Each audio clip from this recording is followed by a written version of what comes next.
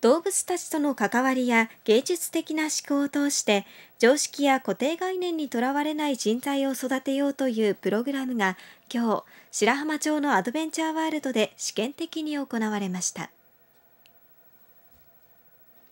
地球の自分ごと化と題したこのプログラムは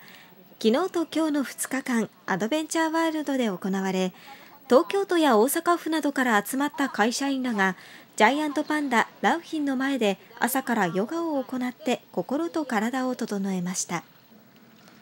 人材育成のコンサルタントなどを手掛ける東京都の株式会社ブルドーザーとアドベンチャーワールドが動物たちとの関わりや芸術的な思考を通じて常識や固定概念にとらわれない人材を育成するプログラムの開発を目指していて今回のプログラムは試験的に実施されました。参加者らは2日間で芸術的思考の実践や動物たちへの餌やり焚き火をしながらの語り合いを行ったほか地球について考えてもらおうとアドベンチャーワールドによる動物に関する解説も受けました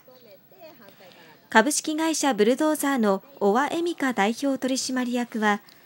この場所は多様性を考えるのに適しています。